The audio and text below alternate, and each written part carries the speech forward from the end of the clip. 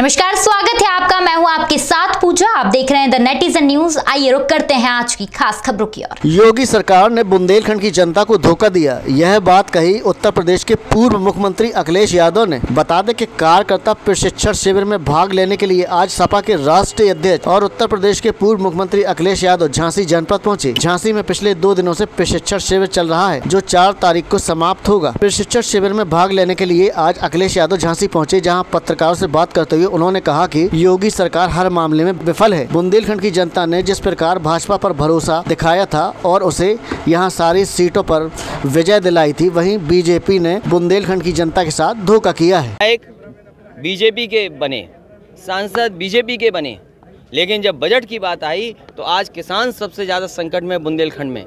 महोवा में किसान आत्महत्या कर रहा है, झांसी में किसान आत्महत्या कर रहा है और जो प्रोजेक्ट्स चल भी रहे थे पुरानी सरकार में वो धीमे धीमे कर कर के पूरा कर रहे हैं जिससे कि नाम उनका उससे जुड़ जाए। एंबुलेंस बर्बाद कर दी। 500 बेड का अस्पताल बन रहा था वो अभी तक पूरा नहीं किया।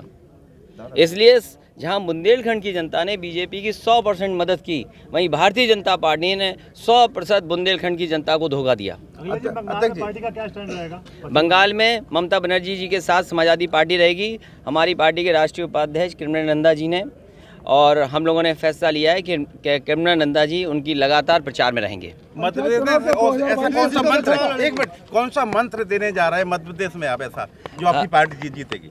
आपने सुना होगा कि बुंदेलखंड की जनता ने 100 प्रतिशत भारतीय जनता पार्टी की मदद की और भारतीय जनता पार्टी सरकार बनते ही 100 परसेंट धोखा दे दिया।